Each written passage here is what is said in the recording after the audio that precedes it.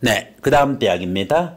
여기 있는 대학의 순서는 주로 9월 학기 12년 특례를 모집하는 그 일정을 기준으로 이렇게 대학 순서를 정해놓은 것입니다. 고려대학교 원서 접수는 3월, 4월에 있고 합격자 발표는 6월에 그리고 등록은 7월에 이렇게 진행이 되는데 구체적으로 고려대 일정을 한번 보도록 하겠습니다.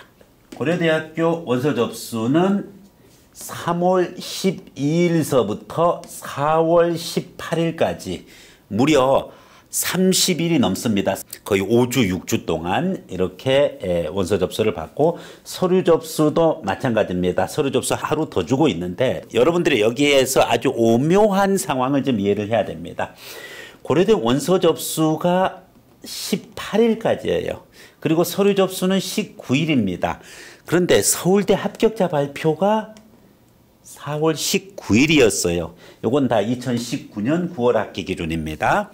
자, 여기서 우리가 준비해야 될 부분이 있습니다. 고려대 원서 접수를 해야 되느냐 하는 부분이죠. 일단은 18일까지니까 고려대는 이러한 전략을 쓴 것 같아요. 서울대의 원서 접수나 일정을 참고했던 것 같아. 서울대가 19일 날 발표니까 고려대가 그 이후까지 계속 원서 접수를 받게 되면은 서울대 지원하는 학생들이 고려대를 지원 안 하고 기다리고 있다가 합격이 나면은 지원을 아예 안 해버리고 합격이 안 나면은 그때서야 비로소 지원할 거라는 것을 예측했을 수 있어요. 그래서 12월 18일까지 즉 서울대 합격자 발표 전날에 원서 접수를 마감을 해버리는 거예요. 그러면은 자 서울대를 지원한 학생 입장에서는 어, 내가 내일 발표인데 고대가 오늘이 원서 접수 마감이야. 어, 어떻게 하지? 이렇게 고민이 될 수밖에 없어요. 아, 그래도 고대 넣어놓자. 그렇게 해서 원서 접수를 할 수밖에 없는 그런 상황이 됩니다. 물론 그 다음날 서류 접수가 19일이니까 원서 접수를 18일까지 해야 되는데 방문 접수하는 입장에서 마지막 날 19일 날 접수할 것을 딱 챙겨놓고 있다가 서울대 합격자 나면은 서류 보따리를 안 가지고 가도 되죠 물론. 그런데 이것은 방문 접수의 경우고 우편 접수는 되게 그 전날 소인까지다 보니까 좀 쉽지가 않아요. 사실 이제 서울대 12년 특례가 너무 어려워요. 고려대와 연세대는 어느 정도 융통성 있게 많이 받아줬습니다만 물론 최근 상황은 달라졌어요.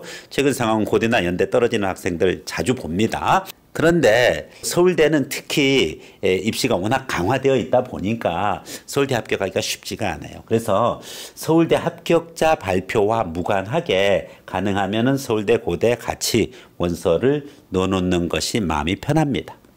고려대 원서 접수는 18일까지였고 서류 접수는 19일까지 즉 3월서부터 4월에 걸쳐서 오랜 기간 동안 원서 접수를 받고 있다. 원서 접수 마지막 날이 서울대 합격자 발표일과 거의 일치한다. 이렇게 이해를 하면 되고요. 그리고 6월 7일 날 합격자 발표를 해주고 합격자 등록은 7월 달에 해줍니다. 자, 서울대와 비교해서 서울대는 4월 달에 합격자 발표하고 8월 달에 등록을 받는데 고대는 6월 달에 합격자 발표를 해주고 7월 달에 바로 등록을 받습니다. 즉 서울대는 합격자 발표 이후에 등록 기간이 굉장히 지연된 다음에 이루어지지만 고대는 6월 달에 합격자 발표하고 바로 7월 달에 등록을 요구하고 있다. 이렇게 구별해 보면 되겠습니다.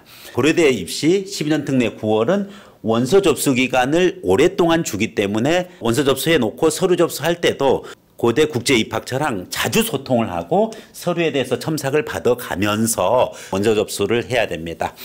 동원 글로벌 홀이라는 12년 특례 원서 접수를 받는 데가 따로 있습니다. 주로 자주 소통을 하고 그렇게 해서 본인의 서류에 대한 완결성을 높여갈 수 있도록 그렇게 하는 것이 필요하다고 보면 되겠습니다. 자, 이와 같은 일정을 기준으로 해서 그러면은 어떻게 준비를 해야 되느냐 하는 부분이죠.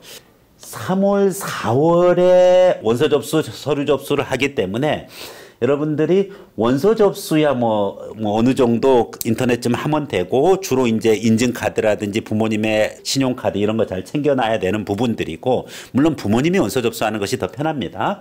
자, 서류 접수 기간 동안은 1월, 2월 달에 꾸준히 준비를 해서 3월, 4월 달에 접수를 시켜주는 것이 좋습니다.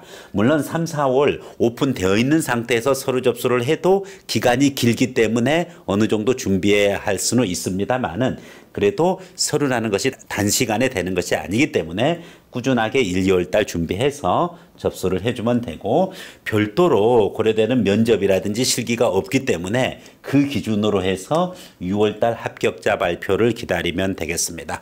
그래서 고려대학교는 서류 준비가 매우 중요한 부분이니까 서울대 원서 접수가 1월 달에 끝나면은 바로 2월, 3월, 4월까지 그렇게 해서 예, 서류 접수를 충분히 해주면 되고 특히 서류 하나하나 뭐 자소서, 추천서 그리고 기타 서류 목록표 그리고 각 학제에 입력하는 그 종합 예, 종합표라는 것이 있습니다. 그래서 그런 부분들 거 어, 꼼꼼하게 잘 챙겨서 고려대 12년 특례 9월 학기에 합격의 영광을 누리시길 바라겠습니다. 네, 다음 대학으로 넘어가도록 하겠습니다.